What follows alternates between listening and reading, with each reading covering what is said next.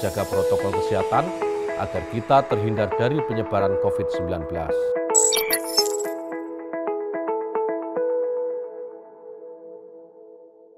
Vaksin untuk Indonesia, Jumat 9 April jam 8 malam.